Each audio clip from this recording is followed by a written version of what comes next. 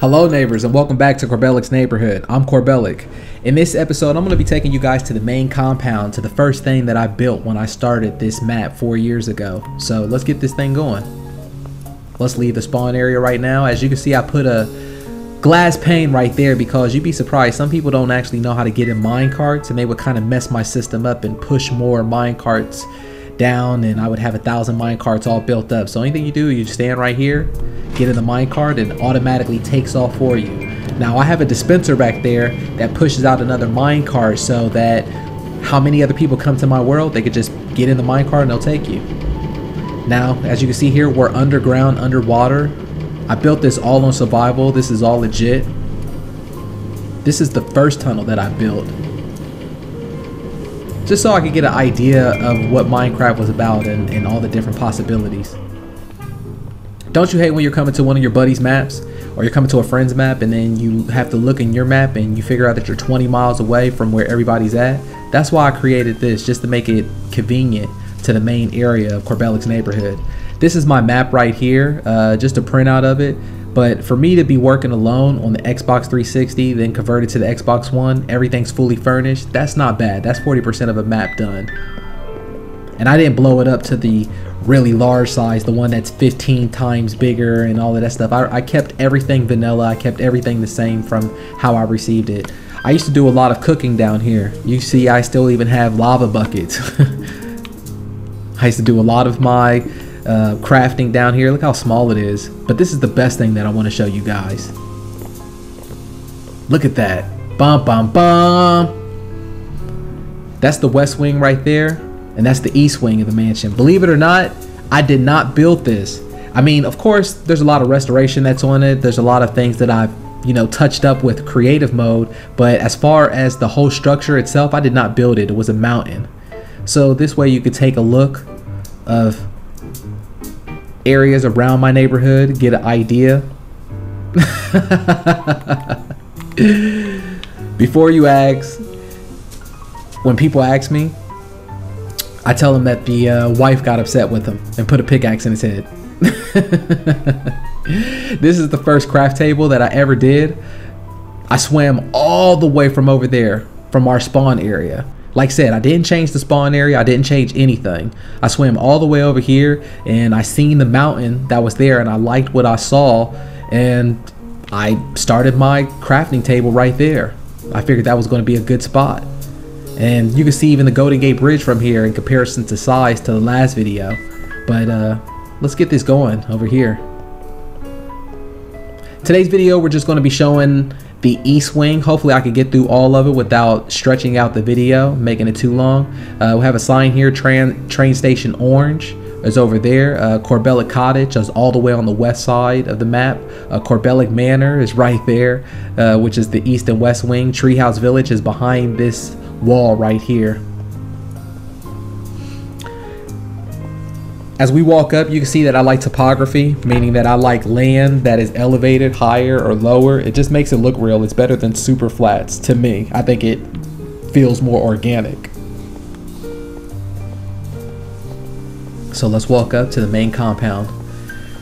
Built on survival mode, west and east wing mansion, carved out mountain created by Corbellic. I even put cake here for myself because I was so proud. I wanted to be like the PC guys who other people come around to their server and they wanted to salute them or give them a shout out. I put a camera here just so I can see who's coming in and out.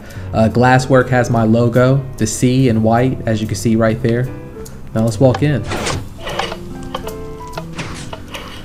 Like I said, I try to pay attention to the ceiling work. Um, just a little bit of let's see here. These are trap trap doors. I called it uh, gates on my last video but they're trap doors.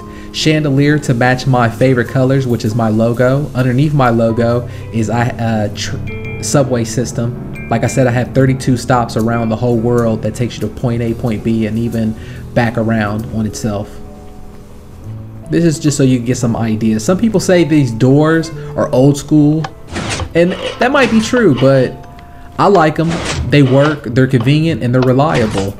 Um, if you ever have a mob outside or anything, or any friends outside that you don't want in, you just lock the door on them. You can't come in. Huh. Lock the door on them. Unlock. I even did the same with the back door. So this is just the lounge area. I like suspension tables like that. That's a pretty cool design. Come this way. And you can see this is where we came in at. When I build things, I like to have a lot of, um, I like to have some room where I can actually move around the objects that I build. I don't like where people build things and the desk is up against the wall so you can't move around it. It just, um, you know, I at least want to have one block open so that you can move around it and you can see the details. This is the second floor lobby. I put a diamond cross zigzag design on the ceilings with a beacon in the middle of it for, for lighting. Also did a little fireplace here, but I put stone above it so it doesn't catch the gray wool on fire because most of this building is gray wool. A little office area.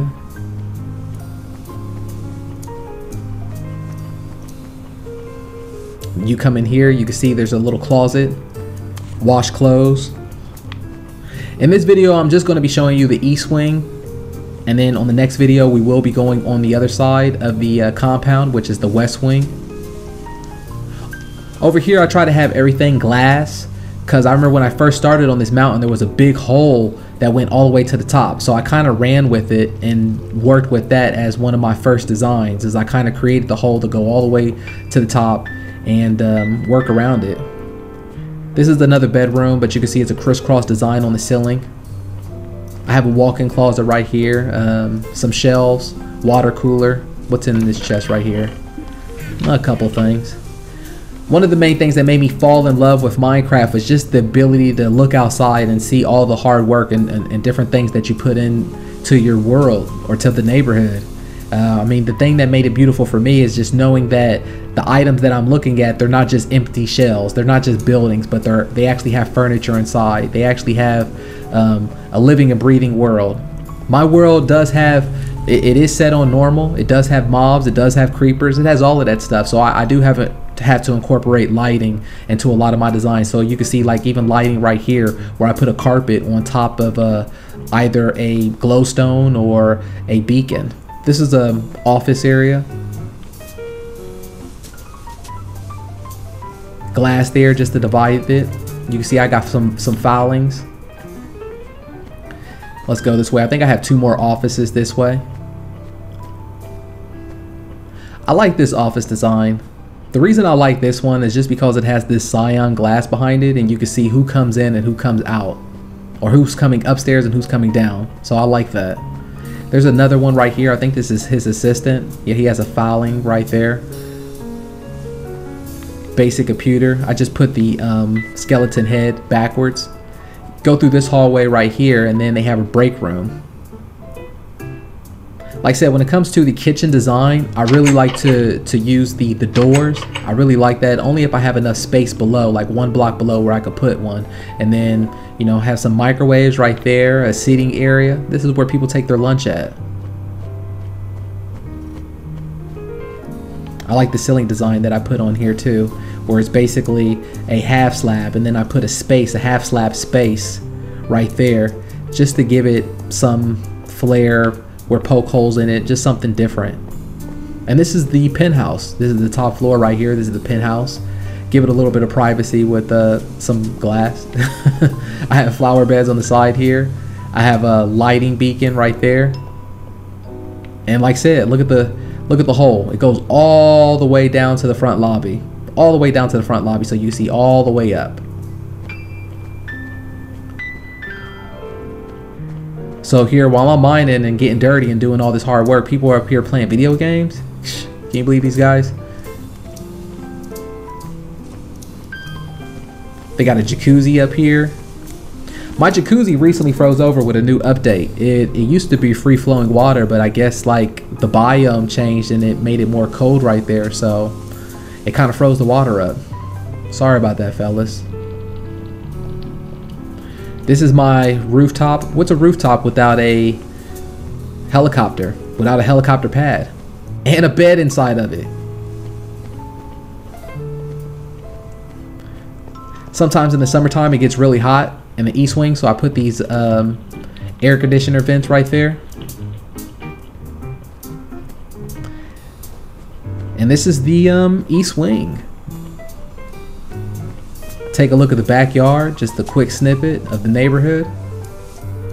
We have plenty things to show. Thanks for coming to the neighborhood. Hope you guys enjoyed the video and the rest of your day. Subscribe, put a like, or even comment what you didn't like below. I'm excited to show you guys what's in store inside the west wing part of the mansion that's right behind me and everything else that's in Corbellic's neighborhood. So until then, I'll see you next time.